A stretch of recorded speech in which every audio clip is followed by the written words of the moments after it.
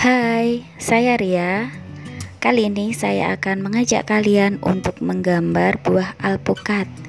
Selain itu, saya akan mengajak kalian untuk mengenal lebih jauh tentang alpukat ya. Buah alpukat atau dalam bahasa Inggris disebut dengan avocado adalah buah yang memiliki banyak manfaat bagi kesehatan manusia dan juga perawatan kulit atau kosmetik. Buah yang dikenal dengan nama ilmiah Persia americana ini berasal dari Meksiko dan Amerika Tengah. Namun, saat ini telah banyak dibudidayakan di Amerika Selatan dan Asia Tenggara, terutama di Indonesia. Buah alpukat mengandung mineral, vitamin, dan serat yang tinggi, terutama vitamin B, vitamin C, vitamin E, vitamin K, potasium atau kalium, dan tembaga yang sangat bermanfaat bagi orang yang mengkonsumsinya. Buah alpukat juga memberikan rasa kenyang sehingga berguna bagi mereka yang ingin menurunkan berat badannya. Buah alpukat disebut juga buah avokat atau apokat Alpukat memiliki banyak manfaat bagi kesehatan manusia. Yang pertama, menjaga kesehatan jantung. Penyakit jantung merupakan salah satu penyakit yang menyebabkan tingginya angka kematian di dunia. Beberapa penyebab penyakit jantung adalah karena tingginya kadar kolesterol, tingginya trigliserida, dan juga karena tekanan darah yang tinggi. Beberapa penelitian mendapatkan hasil bahwa konsumsi buah alpukat dapat menurunkan kadar kolesterol LDL atau kolesterol jahat dan meningkatkan kadar kolesterol HDL atau kolesterol baik serta dapat menurunkan level trigliserida secara signifikan. Yang dua, menjaga kesehatan mata. Salah satu senyawa tumbuh-tumbuhan yang terkandung dalam buah alpukat yaitu Karotenoid dapat mengurangi resiko penyakit mata yang berkaitan dengan usia. Yang ketiga, memberikan manfaat bagi kehamilan. Nutrisi dan gizi yang sangat penting bagi kesuburan, perkembangan janin, kelahiran, dan juga komposisi dalam ASI atau air susu ibu.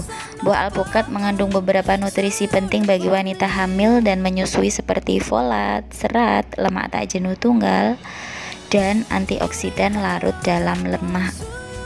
Yang keempat, pengendalian kadar gula darah dan mendukung penurunan berat badan.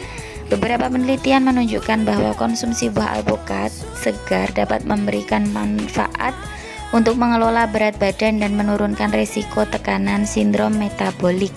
Sindrom, sindrom metabolik adalah sekelompok faktor yang dapat meningkatkan risiko penyakit arteri koroner, stroke, dan diabetes tipe 2. Senyawa tumbuh-tumbuhan yang terdapat pada buah alpukat seperti demanoheptulose dapat membantu mengendalikan kadar gula dalam darah ya.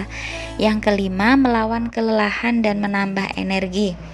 Buah alpukat merupakan sumber vitamin C, vitamin B1 atau niacin, vitamin B6, piridoksin dan B9 atau folat yang dapat meningkatkan energi dan melawan kelelahan.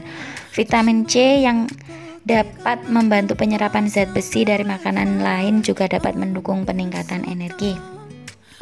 Yang keenam, mencegah penyakit kanker. Buah alpukat merupakan sumber antioksidan karas karotenoid seperti likopena, alpha karotena, beta karoten, beta kriptosantin, lutein, dan zeaxanthin yang dapat melindungi sel-sel tubuh manusia dan pengerusakan radikal bebas sehingga menurunkan risiko terkenanya penyakit kanker. Vitamin C dan vitamin E juga merupakan antioksidan yang dapat menangkal radikal bebas. Yang ketujuh, mengatasi sembelit dan membantu sistem pencernaan. Buah alpukat mengandung serat yang tinggi sehingga dapat membantu sistem pen pencernaan pada tubuh kita dan membantu mengatasi sembelit. Yang kedelapan, menjaga kesehatan dan kecantikan kulit. Lemak tak jenuh tunggal yang terkandung dalam buah alpukat bermanfaat untuk meningkatkan warna kulit dan penampilan. Lemak tak jenuh tunggal ini merupakan nutrisi penting dalam menjaga tingkat kelembapan di lapisan epidermis kulit sehingga terlihat lembut dan sehat. teman-teman ternyata alpukat itu banyak sekali manfaatnya untuk tubuh kita. Namun perlu kalian ingat segala sesuatu yang berlebihan itu tidak baik. Jadi harus bijak dalam mengkonsumsi apa pun ya terutama alpukat. Meskipun manfaatnya banyak harus diimbangi dengan mengkonsumsi yang lainnya. Jadi tidak melulu alpukat setiap hari ya. Oke terima kasih. Semoga video kali ini bermanfaat untuk kalian. Sampai jumpa di video selanjutnya ya. Terima kasih untuk selalu mendukung saya. Bye bye